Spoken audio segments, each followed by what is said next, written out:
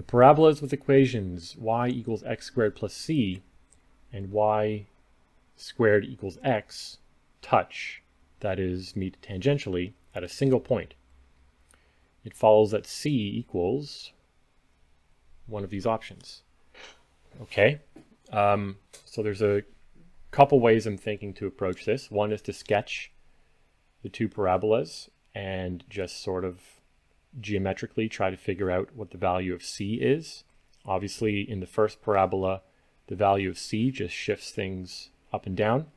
And the second would be to um, do something where you know we solve for try to solve for x or solve set set something equal to each other um, and then solve and see what happens like uh, force there to be only one solution rather than more than one solution.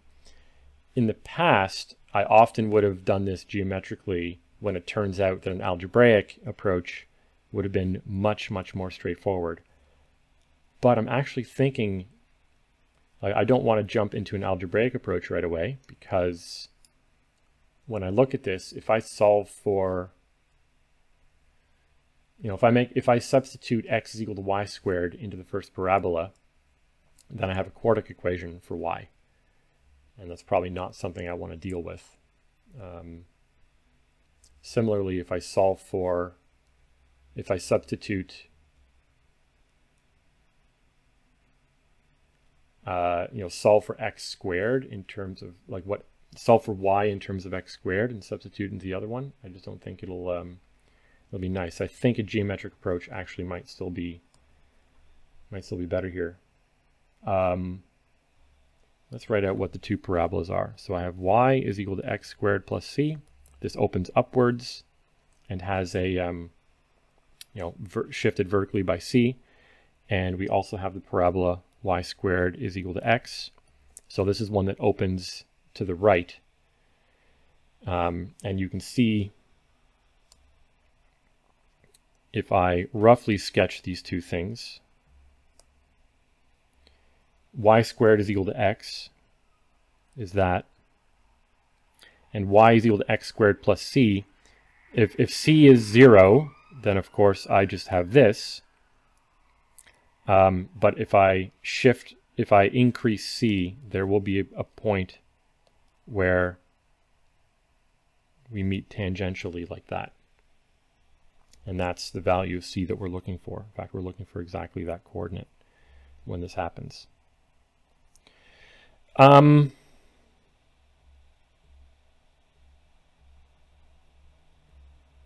something, you know, one thing I could do is we know that if these two things meet tangentially like this, their derivatives are also equal.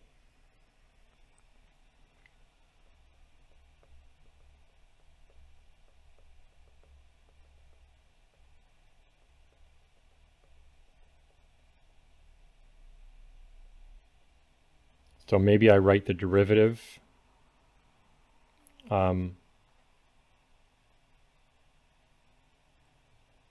you know, rather than rather than setting up an algebraic equation where, you know, how how would the algebraic approach look? Um, well, y squared is equal to x.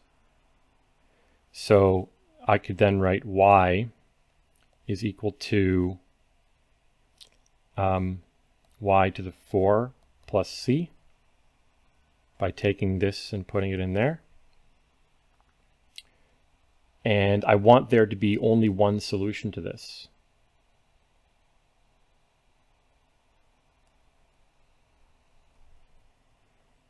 So y to the 4 minus y plus, oops, y to the 4 minus y plus c equals 0. Only one solution. Well, I don't really know how to analyze a quartic like this and say that there's only one solution. So let's instead, um,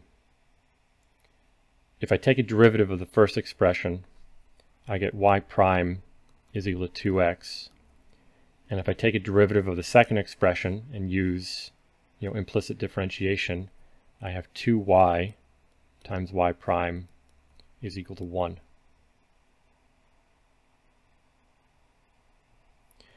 Um, maybe there's something I can do with this. 2y times 2x is equal to 1. So I have xy is equal to 1 over 4. And that gives me, well, y squared is equal to x. So y squared times y is equal to 1 over 4. So y cubed is equal to 1 over 4. So this says that y is equal to um, 4 to the negative 1 over 3. So that is the, that'll give me the y coordinate of this point.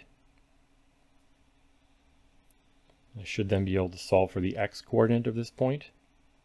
I have um, y squared is equal to x, right? So y squared is equal to 4 to the negative 2 over 3, and that's equal to x. So the x coordinate where these two things are tangent is that. And I also have y is equal to x squared plus c. So I have 4 to negative 1 over 3 is equal to 4 to negative 4 over 3 plus c. I should be able to solve for c from this. It's kind of messy.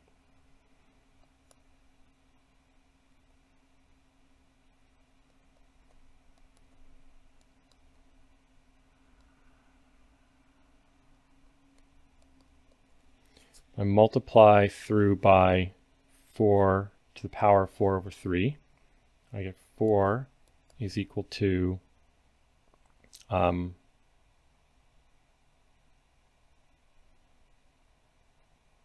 1 plus 4 just 4 over 3c.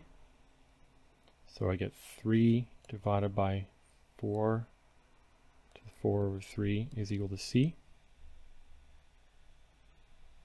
And I think that's, I think this is one of the answers given if I rewrite it as um, c is equal to 3 over 4 times the cube root of 4. And this is option B. Um, you know, the fact that I I took